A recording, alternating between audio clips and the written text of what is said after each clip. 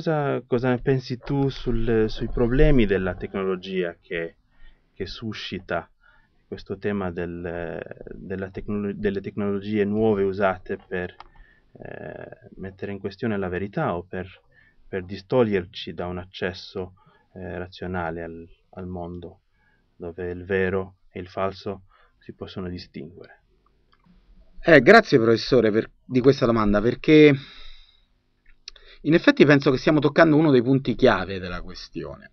Brodillard, un famoso statistico, diceva che le statistiche sono una forma di realizzazione del desiderio, proprio come i sogni. E allora penso che non possiamo semplicemente parlare di dati, ma dobbiamo parlare sempre di dati e di, inter- di interpretazione. Ricordo una famosa vignetta che eh, circolava negli ambienti polemici nei confronti della, dell'ambientalismo americano, no? in cui si diceva che gli ambientalisti erano un po' come le angurie, verdi fuori e rossi dentro, instaurando un pochino il sospetto che in fondo c'era un'ideologia dietro ad alcune affermazioni. E questo un po' è vero, cioè nel senso nessuno di noi è neutrale rispetto ai dati, ha una sua narrazione dei dati che nasce da quello che ha vissuto e lo, lo orienta sulle scelte che si trova davanti.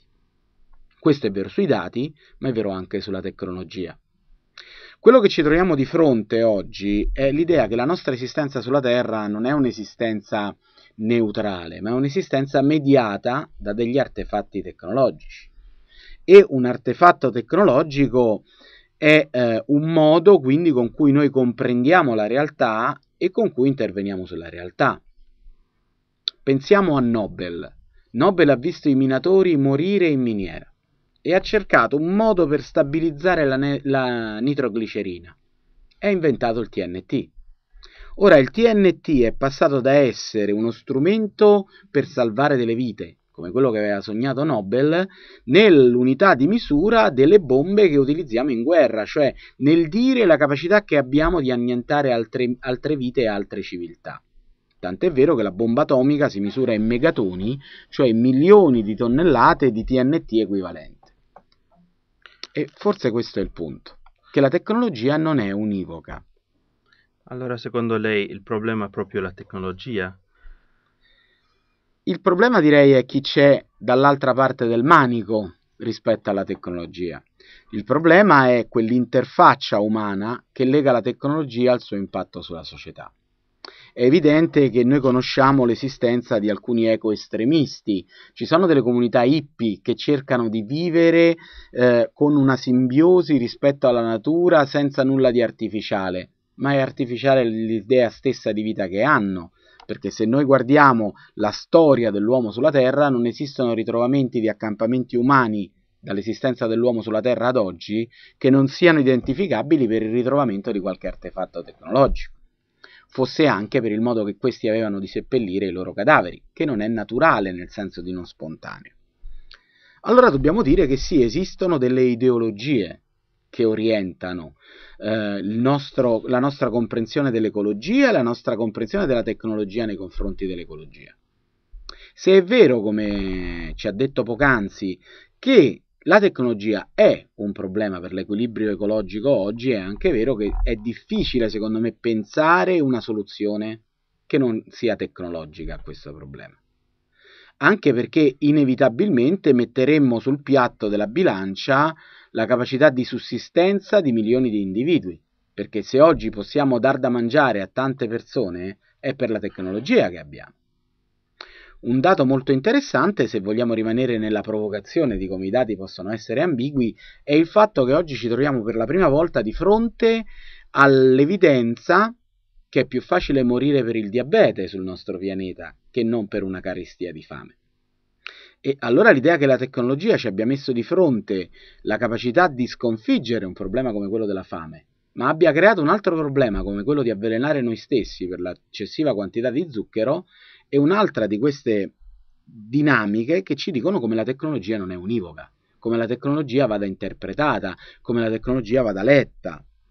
E eh, questa cosa eh, ci dice che eh, il vero problema è la relazione tra l'uomo e lo strumento e la relazione tra l'uomo e lo strumento non dipende semplicemente dall'oggettività dei fatti, ma delle idee che formano la personalità, le, condi- le, convinzioni e le credenze della persona. Io credo che questa enciclica si schiera anche sul, sul tema tecnologico, dunque eh, sul problema che, che, può causare la tecnica, che, che abbiamo già accennato prima.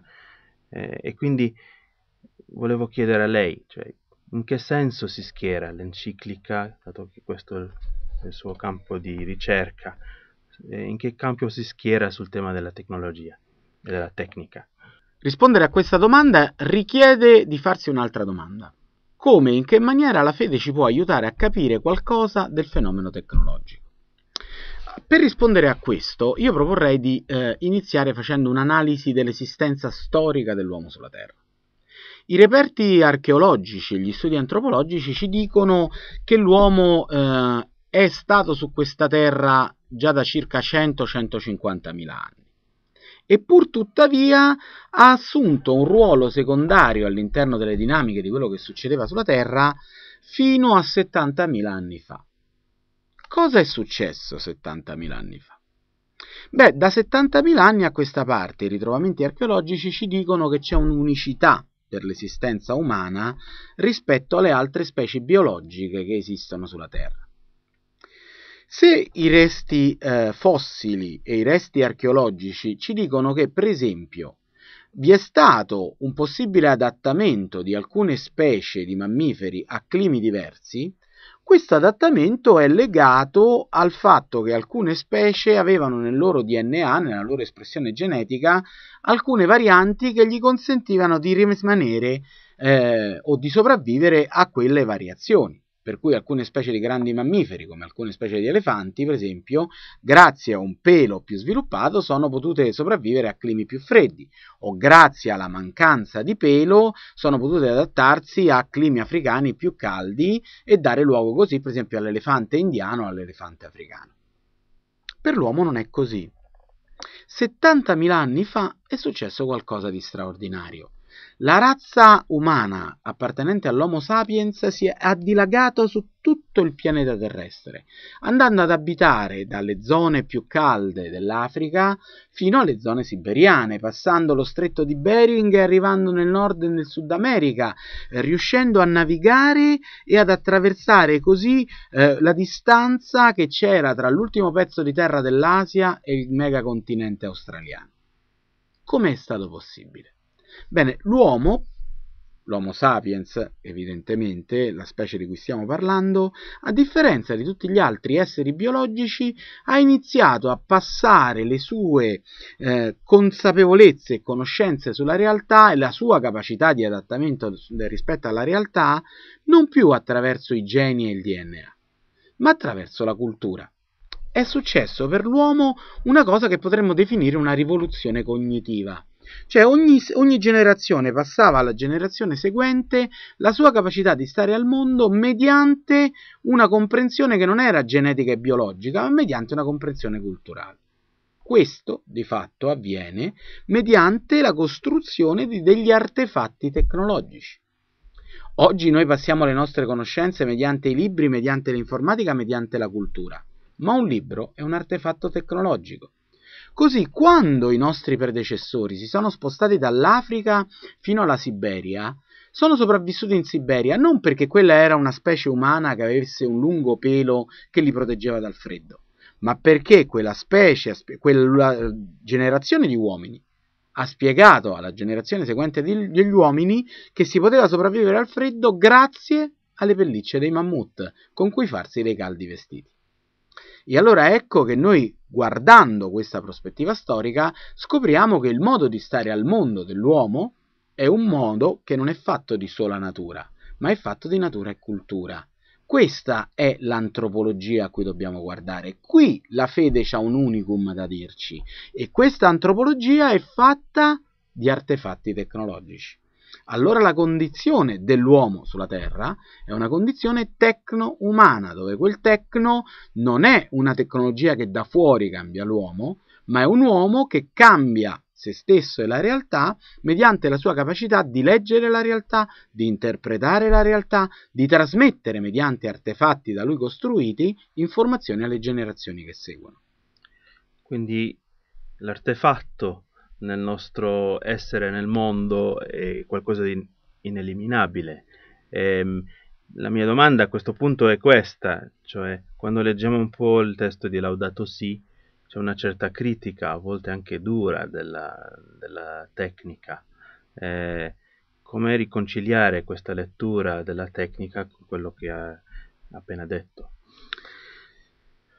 Andando ad aprire che cos'è l'artefatto tecnologico. Chiaro che se noi consideriamo l'artefatto tecnologico come una black box, come una scatola chiusa che esiste e basta, noi di quell'artefatto non vediamo che magari gli effetti negativi che abbiamo davanti agli occhi. Ma questa comprensione antropologica, in cui la comprensione di fede esplicita è una chiave importante per sviluppare un'etica, se vogliamo, della tecnologia che sappia prendersi in carico la complessità del fenomeno di cui parliamo, ci aiuta a vedere l'artefatto in una maniera diversa l'artefatto tecnologico non è un dato di fatto, non è una cosa che c'è rispetto al quale l'uomo si deve fare solo una domanda, che è quella di quanto di questo artefatto ne posso usare, quanto sarà troppo. Ma possiamo vedere quindi l'artefatto come una sorta di condensato antropologico, come una serie di risposte che l'uomo si è dato a una realtà che lo provoca. Una vanga, quello strumento che utilizziamo per scavare il terreno, non è altro che una risposta che l'uomo si è dato di fronte alla domanda come posso guadagnarmi la sussistenza in un mondo che da solo spontaneamente magari non mi dà quanto eh, di cui ho bisogno per vivere. Ma di contro, la vanga magari è anche lo strumento che Caino ha utilizzato per uccidere Abele quindi è anche grondante di quel sangue che è la prevaricazione dell'uomo sull'uomo. Allora la comprensione della condizione tecno-umana è una sorta di eh, utensile che svita il coperchio dell'artefatto tecnologico e ci mette di fronte a una domanda che è tutta umana, che è tutta etica, che è tutta di significato. Qual è il significato che è posto dietro lo sviluppo, l'uso e l'insieme di usi che questo artefatto ha conosciuto? allora la lettura è una lettura che deve mettere in mostra tutte le speranze e i dubbi che l'uomo ha avuto nel leggere la realtà, nello sviluppare artefatti, nell'insieme degli artefatti che sono stati utilizzati nella storia dell'uomo. Quindi la lettura della tecnologia, più che una lettura tecnica, è una lettura culturale. È una lettura cioè di quell'ambito pienamente umano che è l'esistenza dell'uomo sulla Terra.